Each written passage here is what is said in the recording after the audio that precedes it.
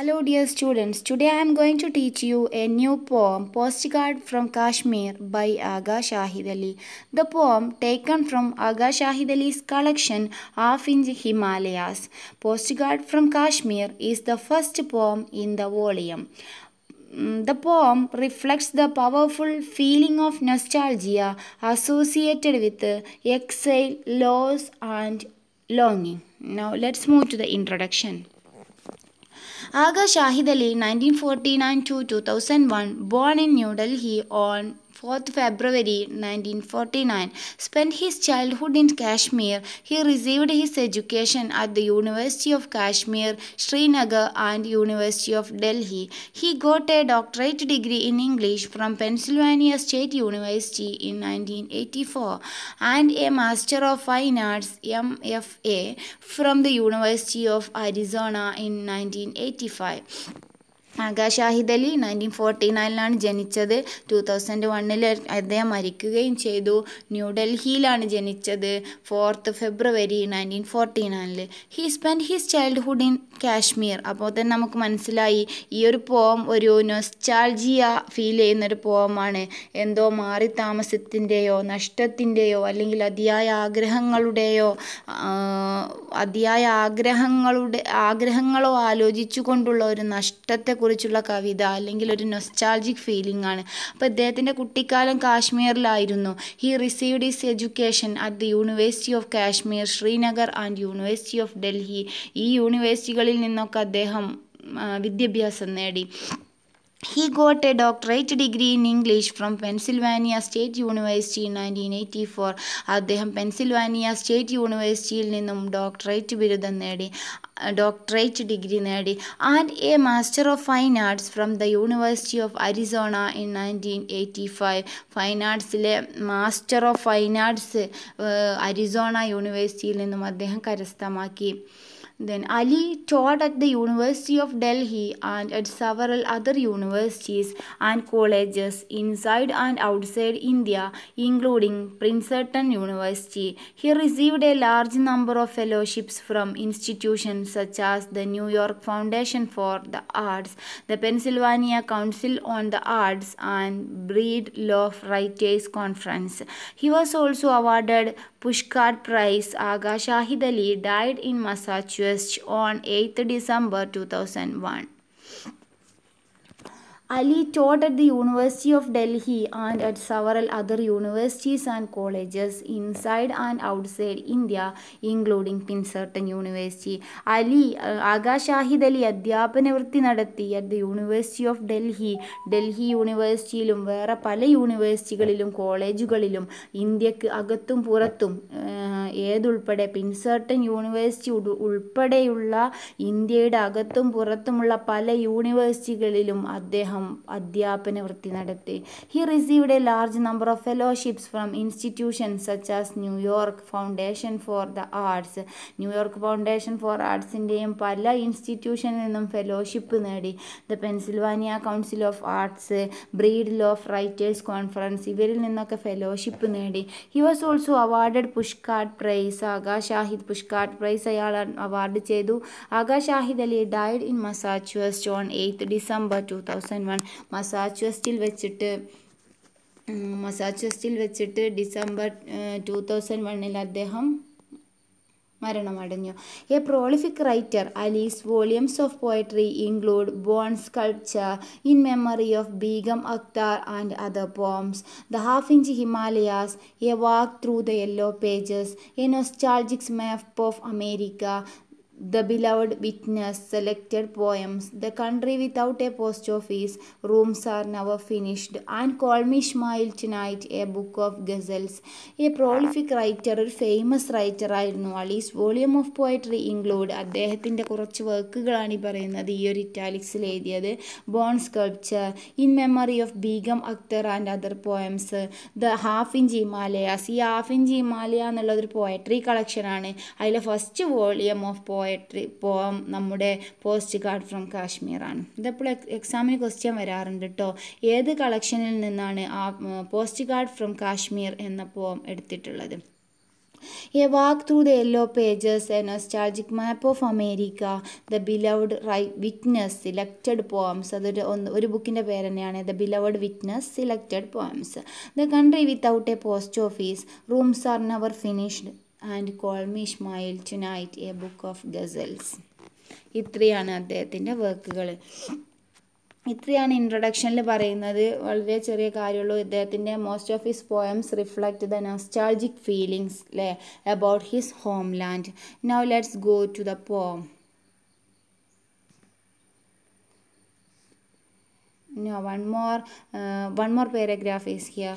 A postcard from kashmir the first poem in the volume the half inch himalayas is a nostalgic poem about exile loss and longing. Looking at a 4 by 6 inch postcard carrying a picture of kashmir with the inspiring himalayas reduced to a half inch molehill in the background. The poet on a self-imposed exile in the us undergoes all the aches and pains, the anguish and agony associated with the displacement and expatriation, the torment of serving the cold and shedding the scales, the sense of loss of near and dear ones, the discomforting struggle for acclimatization, the ever haunting spectre of over exaggerated love and beauty of the native land, the, ex- uh, the excruciating string of nostalgia, the sense of alienation from the native land, the feeling of being an outsider in the country of domicile, the regret of having left home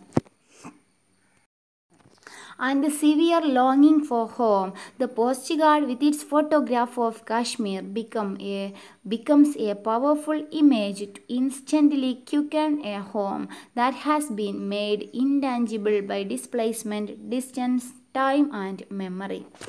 Post from Kashmir the first poem in the volume.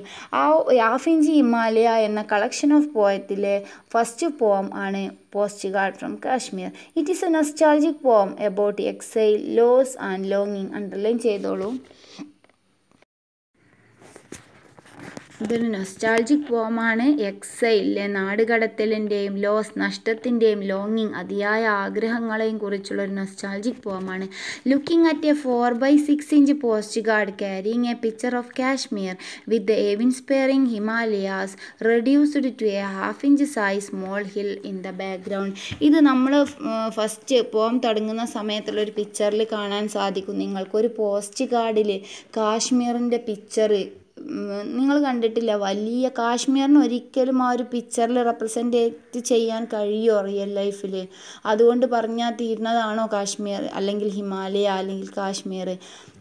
അപ്പോൾ ഇപ്പോൾ അദ്ദേഹം അവിടുന്ന് നാട് വിട്ട് പോകുന്നതാണ് സ്വന്തം നാട്ടിൽ നിന്നും അയാൾ പോന്നു കഴിഞ്ഞതിന് ശേഷം വളരെ കാലങ്ങൾക്ക് ശേഷം പോസ്റ്റ് ഗാർഡ് അദ്ദേഹത്തിന് അദ്ദേഹം അമേരിക്കയിലാണ് താമസിക്കുന്നത്. ആ ഒരു ടൈമിൽ അദ്ദേഹത്തിന് ഒരു പോസ്റ്റ് ഗാർഡ് കിട്ടുകയാണ് ആ പോസ്റ്റ് ഗാർഡിലുള്ള ഫോട്ടോ ഹിമാലയന്റെ പിക്ചറാണ്. അപ്പോൾ ആ ഒരു സമയത്ത് അയാൾക്ക് നഷ്ടത്തിന്റെയും നൊസ്റ്റാൾജിക് ഫീലിംഗ് വരികയാണ് അദ്ദേഹത്തിന്റെ മനസ്സിൽ.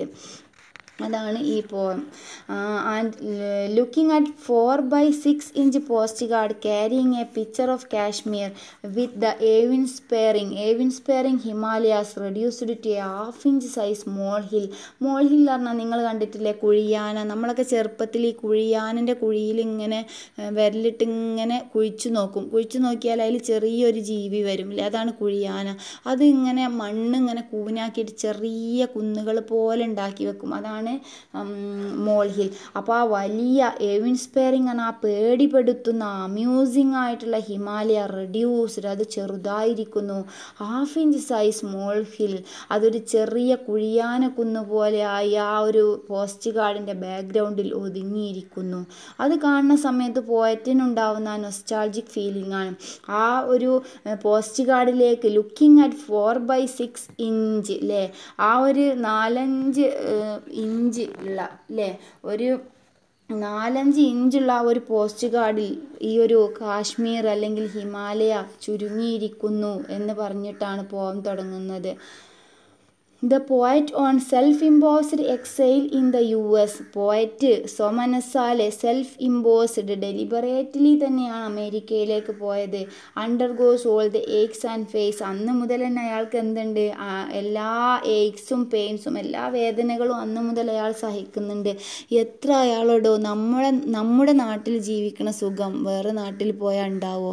എപ്പോഴും നമ്മളെ നമ്മളെ നമ്മ എപ്പോ സോറി എപ്പോഴും എപ്പോഴും വേറെ നാട്ടുകാർ നമ്മെ ഒരു ഒരു ഔട്ട്സൈഡറായിട്ട് തന്നെ കാണുള്ളൂ അല്ലേ എപ്പോഴും അവർ ഒരു ഔട്ട്സൈഡായിട്ട് ഔട്ട്സൈഡറായിട്ട് നമുക്ക് ഫീൽ ചെയ്യുകയും ചെയ്യും അവിടെ നിന്ന് കഴിഞ്ഞാൽ. അപ്പോൾ ആ ഒരു അവിടുന്ന് പോകുന്നതിന് ശേഷം undergoes all aches and pains അയാൾ എല്ലാ വേദനകളും സഹിക്കുന്നു.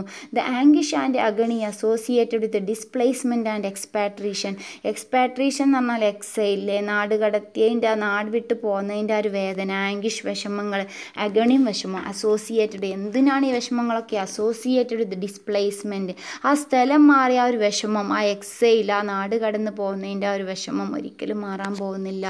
The torment of serving the cord of shedding the scales the torment ആ ഒരു agony serving the cord and shedding the scales ആ ഒരു വേർപാടിന്റെ കോഡ് പറഞ്ഞാൽ ചരട് എന്ന. ആ ഒരു ചരട് വേർപെട്ടു ചരട് വേർപ്പെടുകയും ചെയ്തു ഷെഡിങ് ദ സ്കെയിൽസ് ആ ഒരു സമയത്ത് ലീഫ് പൊഴിയാൻ തുടങ്ങുകയും ചെയ്തു. പറഞ്ഞാൽ ആ ഒരു വിഷമം ആ ഒരു നൊസ്റ്റാൾജിക് ആയിട്ടുള്ള ആ ഒരു വിഷമം നാട് വിട്ടു പോകുന്നതിന്റെ ആ ഗൃഹാതുരത്വമാണ് അവിടെ ആ ഒരു ഇടിയത്തിൽ പറയുന്നത്. The sense of loss of the near and dear ones അല്ലേ ആ ഒരു സ്വന്തക്കാരൻ നിയർ ഡിയർ വൺസിന് അടുത്ത ആളുകളെ നഷ്ടപ്പെടുകയാണ്. അവരെ അവരെ കുറിച്ചുള്ള ഫീലിങ്ങുകൾ ഇല്ലാതാവാണ്. The discomforting struggle for acclimatization അല്ലേ അക്ലിമറ്റൈസേഷൻ പറഞ്ഞാൽ അഡാപ്റ്റ് ചെയ്യാൻ അല്ലേ ന്യൂ ക്ലൈമറ്റിനോട് അക്ലിമറ്റൈസേഷൻ പൊരുത്തപ്പെടുക എന്നൊക്കെയുള്ള മീനിങ് ആണ്. അയാൾക്ക് അത് കംഫർട്ട് അല്ലാതെ തോന്നി. ഡിസ്കംഫേർട്ടായിട്ട് തോന്നി. അയാൾക്ക് സ്ട്രഗിൾ ഫീൽ ചെയ്തു. ഡിസ്കംഫർട്ടിങ് സ്ട്രഗിൾ ഫോർ അക്ലിമറ്റൈസേഷൻ ആ ഒരു ചെന്ന സ്ഥലത്ത് പൊരുത്തപ്പെടാനുള്ള ഒരു ബുദ്ധിമുട്ട് അതൊരു ഡിസ്കംഫേർട്ടായിട്ട് തോന്നി. And the ever haunting spectre over exaggerated love and beauty of the native land എന്തുകൊണ്ട് അങ്ങനെയൊക്കെ തോന്നാൻ കാരണം എവർ ഹണ്ടിങ് എന്നും അയാളെ വേട്ടയാടിക്കൊണ്ടിരിക്കുന്ന ഒരു സംഭവമുണ്ട്. അതെന്താണ്? സ്പെക്ടർ ഓഫ് ഓവർ എക്സാജറേറ്റഡ് അധികമായിട്ടുള്ള ആ ഒരു love and beauty of the native land ആ ഒരു ലവ് ആൻഡ് അഫക്ഷൻ ടു അത്രേ ഉള്ളൂ അവിടെ. Spectre means shade over exaggerated അധികമായി ഒഴുകുന്ന എന്നൊക്കെയാണ്. അപ്പോൾ ശരിക്കും ഇത്രയേ ഉള്ളൂ മീനിങ് ആ ഒരു love and beauty of the native land അതാണ്. ആ over exposed love of beauty of the native land of excruciating string of nostalgia ഒരു പെയിൻഫുൾ സ്റ്റിങ് ആ പെയിൻഫുൾ എക്സ്ക്രൂഷിയേറ്റിംഗ് എന്നാൽ പെയിൻഫുൾ സ്റ്റിങ് എന്നാൽ കുത്തുക. അപ്പോൾ ഒരു എക്സ്ക്രൂഷിയേറ്റ് ഒരു പെയിൻഫുൾ ആയിട്ടുള്ള നൊസ്റ്റാൾജിന്റെ ഒരു കുത്ത് എപ്പോഴും അവൾക്ക് ഫീൽ ചെയ്യുന്നു. The sense of alienation from the native land ഒരു ഒറ്റപ്പെടൽ അയാൾക്ക് നാറ്റീവ് ലാൻഡിൽ നിന്നും പോകുന്നതിന് ശേഷം ഒരു ഒറ്റപ്പെടൽ ഫീൽ ചെയ്യാണ് the feeling of being an outsider in the country of domicile എപ്പോഴും ഒരു ഞാൻ നേരത്തെ പറഞ്ഞല്ലോ ഒരു ഔട്ട്സൈഡർ നമ്മൾ ചെന്ന് അമേരിക്കയിലാണ് ഇപ്പോൾ അയാൾ താമസിക്കുന്നത് അല്ലേ the poet lives in the place far away from his native land സ്വന്തം നാട്ടിൽ നിന്നും അകലെയായിട്ടാണ് ഇയാളിപ്പോൾ താമസിക്കുന്നത്. അവിടുന്ന് അയാൾക്കൊരു ഔട്ട്സൈഡർ ആയിട്ട് ഫീൽ ചെയ്യാണ്. The regret of having left home ആ വീട് വിട്ടതിന്റെ ആ ഒരു വിഷമം റിഗ്രറ്റ് ദ സിവിയർ ലോങ്ങിങ് ഫോർ ഹോം വീണ്ടും വീടിനെ കുറിച്ചുള്ള സിവിയർ ലോങ്ങിങ് ആ ഒരു തീവ്രമായ സീരിയസ് ആയിട്ടുള്ള അതിയായ ആഗ്രഹം വീടിനെ കുറിച്ചുള്ള ചിന്തകളും വീടിനോടുള്ള സ്നേഹവും the post card with its photograph of Kashmir become a powerful image to instantly quicken at ho- quicken a home that has been made by displacement, distance, time, and memory.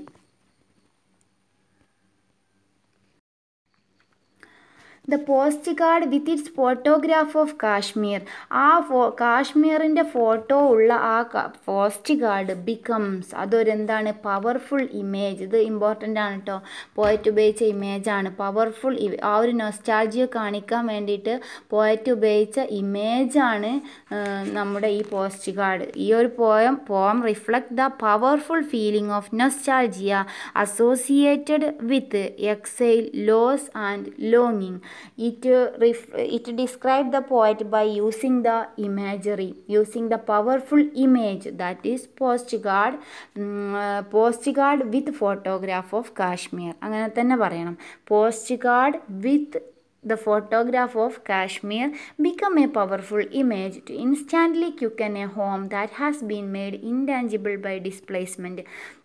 അപ്പോൾ അയാൾക്ക് അയാളെ വീട് എന്താണ് ഇൻടാഞ്ചിബിൾ ആയി തോന്നുകയാണ് intangible means unclear ആയിട്ട് തോന്നുകയാണ് എന്തുകൊണ്ടാണ് തോന്നുന്നത്?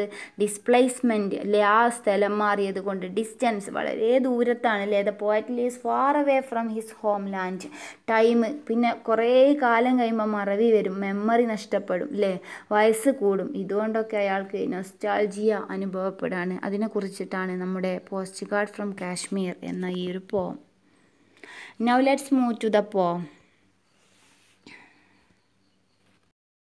Postcard from Kashmir. Kashmir shrinks into my mailbox. My home, a neat 4 by 6 inches. I always loved neatness. Now I hold the half inch Himalayas in my hand. This is home, and this the closest I will ever be to home when I return. The colors won't be so brilliant, the Jalam's water so clean, so ultramarine, my love so overexposed, and my memory will be a little out of focus, in it a giant negative, black and white, still undeveloped. Now, now let's explain. Postcard from Kashmir. കാശ്മീരിൽ നിന്നുള്ള ഒരു post card. Post card എല്ലാവർക്കും അറിയാമല്ലോ അല്ലേ? Kashmir shrinks into my mail box Kashmir ചുരുങ്ങിപ്പോയി ഒരു mail ബോക്സിലേക്ക് എന്റെ മനസ്സിലുള്ള എന്റെ ഞാൻ ജനിച്ചു വളർന്ന എന്റെ നാട് ഒരു മെയിൽ ബോക്സിലേക്ക് ചുരുങ്ങിപ്പോയി.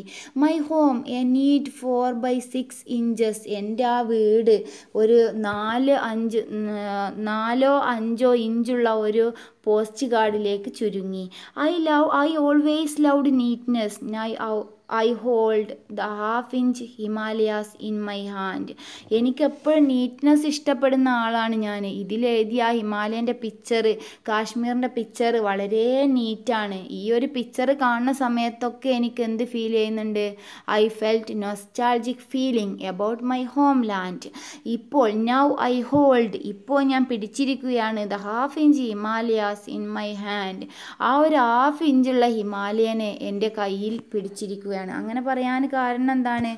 ആ ഒരു massive mountain range reduced to a tiny mountain അല്ലെ ഒരു ടൈനി പിക്ചറിൽ പിക്ചറിലേക്ക് ചുരുങ്ങിയിരിക്കുകയാണ്. മനസ്സിലായോ?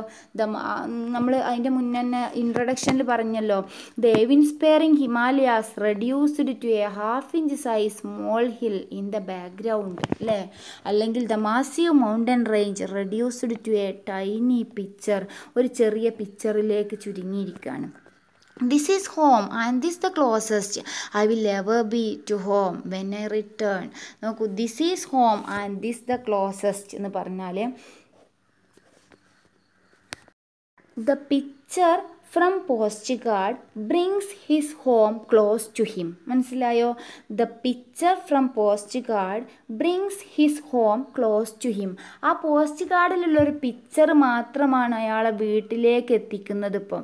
ആ ഒരു പിക്ചർ കണ്ടിട്ടാണ് വീടിനെ കുറിച്ചുള്ള ഫീലിംഗ് അയാൾക്ക് വരുന്നത് അല്ലേ I will ever be to home ഇനി ഒരിക്കലും എനിക്ക് എന്ത് ചെയ്യാൻ കഴിയില്ല I I will ever be to home എന്നാണ് പറയുന്നത്. He's unable to return his home land Kashmir അദ്ദേഹത്തിന്റെ ഹോം ലാൻഡ് അല്ലെങ്കിൽ നാറ്റീവ് ലാൻഡായ കാശ്മീരിലേക്ക് ഇനി അയാൾക്ക് പോകാൻ സാധിക്കില്ല. ഈ ഒരു ഈ ഒരു ചിത്രം മാത്രമാണ്. അല്ലെങ്കിൽ so the picture from postcard brings his home close to him ഈ ഒരു പിക്ചർ മാത്രമാണ് അദ്ദേഹത്തിന് അദ്ദേഹത്തിന്റെ വീടിലേക്ക് അടുപ്പിക്കുന്നത്. ഇതാ ഇവിടെ പിക്ചർ കണ്ടോ? പോസ്റ്റ് ഗാർഡിലെ ഹിമാലയന്റെ പിക്ചർ വളരെ വലിയൊരു ഹ്യൂജ് ഹിമാലയനെ റെഡ്യൂസ് ചെയ്തിരിക്കുകയാണ് ചെറിയൊരു പിക്ചറിൽ ആ ഒരു സംഭവം കാണുന്ന സമയത്ത് നമ്മുടെ പോയറ്റിനുണ്ടാകുന്ന ആ നൊസ്റ്റാൾജിയാണ് ഈ ഒരു പോയത്തിൽ പറയുന്നത്. അപ്പോൾ ആകാശാഹിദ് Ali uses post guard as a powerful image in the poem one day the poet stays in U S അല്ലേ ദ പോം സ്റ്റാർട്ട് അല്ലെങ്കിൽ at the time of this the poet is not there അല്ലേ the poet is in a place far away from Kashmir ഇത് പറയുന്ന സമയത്ത് poet എവിടെ അല്ല far away from Kashmir കാശ്മീറിന്റെ കുറേ അപ്പുറത്ത് യു എസിലാണ് അപ്പോൾ ആ ഒരു സമയത്ത് അദ്ദേഹം താമസിക്കുന്നത്. He received a postcard with a picture of Kashmir. At that time, he felt nostalgia. At once, it, arou- it rouses nice memory for, memories of his homeland, Kashmir, in him.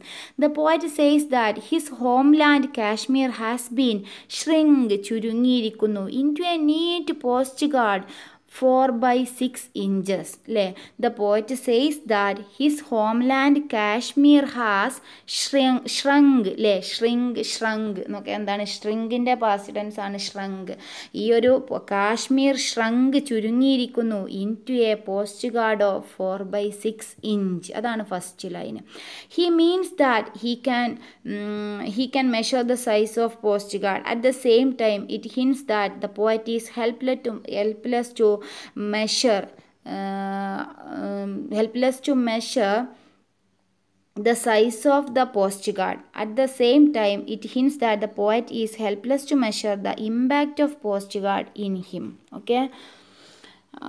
ആ ഒരു post കാർഡിലുള്ള picture എത്രത്തോളം impact പോസ്റ്റ് കാർഡിന്റെ size ഇയാൾക്ക് പറയാൻ പറ്റും കാരണം ഫോറോ നാലോ അഞ്ചോ ഇഞ്ച്. പക്ഷെ ആ ഒരു പോസ്റ്റ് കാർഡ് അദ്ദേഹത്തിന്റെ മനസ്സിലുണ്ടാക്കിയ ആ ഫീലിങ്ങിന്റെ ആ ഒരു അളവ് അദ്ദേഹത്തിന് ഒരിക്കലും അളക്കാൻ സാധിക്കില്ല. കാരണം അത്രയും ഒരു ഫീലിംഗ് ആണ് ആ ഒരു പിക്ചർ അയാളുടെ മനസ്സിലേക്ക് കൊണ്ടുവന്നത് അല്ലേ ആ ഒരു പോയറ്റ് പോയറ്റ് പറയാണ് ആ ഒരു ഹോൾഡ് കയ്യിൽ പിടിച്ചുകൊണ്ട് half inch Himalayas in his hand പിടിച്ചുകൊണ്ട് പറയാണ് the great mountain in the world is reduced to half inch അല്ലേ ആ ഒരു വലിയ മൗണ്ടെയിൻ ഹാഫ് ഇഞ്ചായി ചുരുങ്ങിയിരിക്കുന്നു. പിന്നെ അയാൾ എന്തും കൂടി പറഞ്ഞു ദിസ് ഈസ് മൈ ഹോം ഇതാണ് എന്റെ വീട്. This brings this brings his home close to him ഇതാണ് എന്റെ വീടിനെ എനിക്ക് അടുപ്പിച്ച് തന്നത്. Now will go to the next line I will ever be to home means means he is unable to his return his homeland. When I the the colors won't be so brilliant. The Jalam's water so clean, so my love so overexposed അല്ലേ the ഞാനിപ്പോൾ ഇനി തിരിച്ചു ചെന്നാലും അതാണ് അദ്ദേഹം പിന്നെ കൂട്ടിച്ചേർക്കുന്നത് അല്ലേ എന്താ തിരിച്ച് ഞാൻ ചെന്ന് കഴിഞ്ഞാൽ ആ കളേഴ്സ് ഒന്നും എനിക്ക് അത്ര പെട്ടെന്ന് എനിക്ക് ക്യാച്ച് ചെയ്യാൻ പറ്റില്ല. വോൺ ബി സോ ബ്രില്യന്റ് ആ കളേഴ്സ് ഒന്നും അത്ര ബ്രില്യന്റ് ആയിരിക്കില്ല. ദ ജലം water so clean and so ultramarine. ആ അൾട്രാമറൈൻ എന്നുള്ള വാക്കിന്റെ മീനിങ് തന്നെ എക്സാമിന് ചോദിക്കാറുണ്ട് കേട്ടോ ഡീപ്പ് ബ്ലൂ അപ്പം ഞാനവിടെ തിരിച്ച് വന്നു കഴിഞ്ഞാൽ തന്നെ ആ കളറുകൾ എനിക്ക് ഐഡന്റിഫൈ ചെയ്യാൻ ബുദ്ധിമുട്ടാവും. ജലം വാട്ടർ അത്രയും ക്ലീനും ഡീപ്പ് ബ്ലൂ കളറും ആയിരുന്നു. My love so over exposed ഞാൻ ആ പിക്ചറിലേക്ക് നോക്കി നോക്കി ഇരിക്കുന്ന സമയത്ത് എനിക്ക് എന്റെ ആ ഒരു ലവ് വീണ്ടും overexposed become darker and brighter അതാണ് ഓവർ എക്സ്പോസ്ഡ് പറഞ്ഞാൽ അല്ലെങ്കിൽ overexpose means the nostalgic feeling which flows outside on watching the picture of Kashmir overexposed അവിടെ തന്നെ എഴുതി വെച്ചോ അതിന്റെ ഒരു meaning the nostalgic feeling which flows outside on watching the powerful image of Kashmir ആ കാശ്മീരിന്റെ ഇമേജ് കാണുന്ന സമയത്ത് എന്റെ ആ ലവ് ഓവർ എക്സ്പോസ് ചെയ്യാണ്. അത് ബിക്കം ഡാർക്കർ ആൻഡ് ബ്രൈറ്റർ അതിലേക്ക് തന്നെ നോക്കിയിരിക്കുന്ന സമയത്ത് എനിക്ക് അത്രയും ഫീലിംഗ് കൂടാണ്. And my memory will be a little out of focus പക്ഷേ എനിക്കിപ്പോൾ പ്രായമൊക്കെ കൂടി ഞാൻ കുറേ കാലമായി ഇവിടെ വന്ന് താമസിക്കുന്നു. ഇപ്പോൾ poet എവിടെയാണുള്ളത്?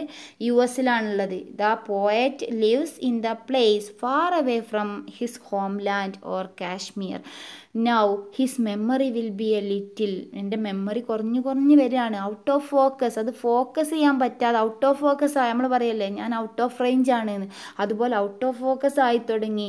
In it a giant negative black and white still un undeveloped in the concluding lines the poet compared it a large negative in black and white not yet developed but it is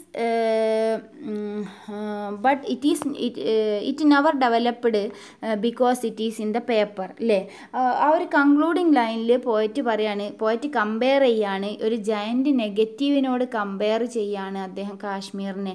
giant negative കണ്ടില്ല? Black and white മുമ്പത്തെ ആളുകളെ കണ്ടിട്ട് മുമ്പുള്ളവരൊക്കെ നിങ്ങൾക്കത് ഒരുപക്ഷെ പരിചയം ഉണ്ടാവില്ല.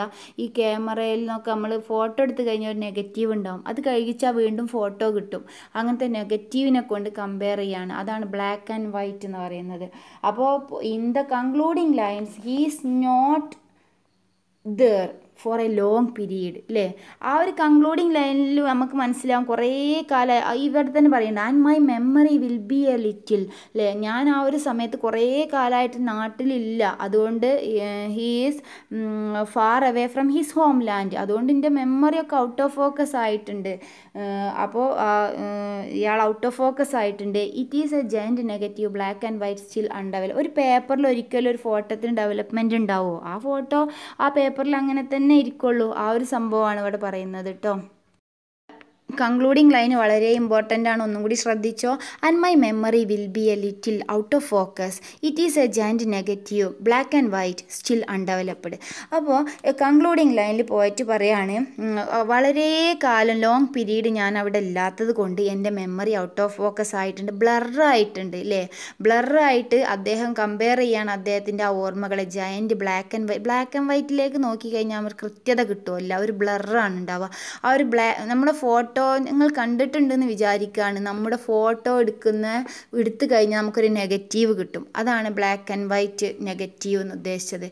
അപ്പോൾ ആ ബ്ലാക്ക് ആൻഡ് വൈറ്റിലേക്ക് നോക്കിക്കഴിഞ്ഞാൽ ഒരു ബ്ലറാണ് കാണുക. കഴുകിച്ചാലേ ഫോട്ടോ ആവുള്ളൂ. അപ്പോൾ അതുപോലെ എന്റെ മെമ്മറി ഒക്കെ ബ്ലറായി പോയി എന്നാണ് പറയുന്നത്. Memory of Kashmir blurred so it compared to a black and white negative മനസ്സിലായോ? ഒരു കൺക്ലൂഡിങ് ലൈൻ എഴുതി വെച്ചോ. In the concluding lines he is not there for a long period, the memory of Kashmir blurred and the poet compared it to a black and white negative. Uh, it the picture is not developed on the paper ആ undeveloped still undeveloped എന്നുള്ളതിന്റെ മീനിങ്ങും വളരെ important ആണ്. The picture never developed on a paper Kashmir not developed in the photographs അതാണ് അതിന്റെ meaning കേട്ടോ okay പോകാൻ മനസ്സിലായിട്ടുണ്ടാവും വിചാരിക്കുകയാണ് താങ്ക്